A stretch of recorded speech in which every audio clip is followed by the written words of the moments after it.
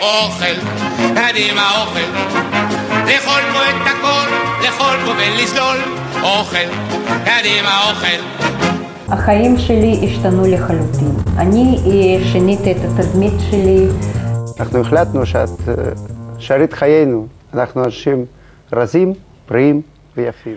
בנינו תוכנית. התייעצנו. וזה ו... גם קצת מסוכן, בבת אחת, יורדת רמת הסוכר, יורד הגוף מאבד... אה, מסוכן להיות שמן. אמרתי לו שאני די מיואשת מכל הניסיונות, עליות. אני כל חיי במטריה הזאת של דיאטות. כשהייתי צעירה הייתי נורא יפה ונורא חתיכה, ורציתי נורא לחזור לזה. זה לא הגיוני שאתה זולל כמו מטורף בעבודה ואוכל אה, בייגלה ועוגיות וקורסונים והכול, ואתה מגיע הביתה ואתה רוצה ארוחת ערב. פה מדברים על בריאות. כל החיים הייתי אישה שמנה.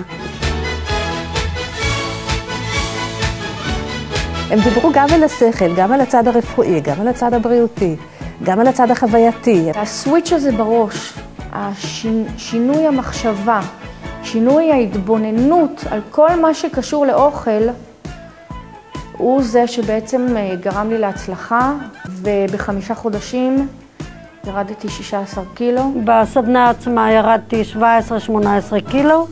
ומאז אני ממשיכה לרדת כל שבוע קילו. במשך חודש הורדתי תשעה קילו.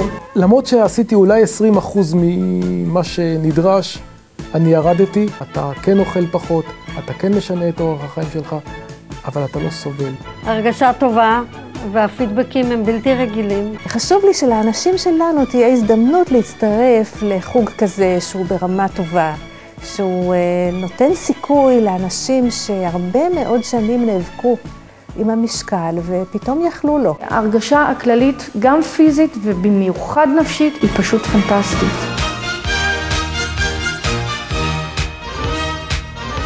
הסדנה הזאת פשוט, אפשר להגיד שהצילה לי את החיים.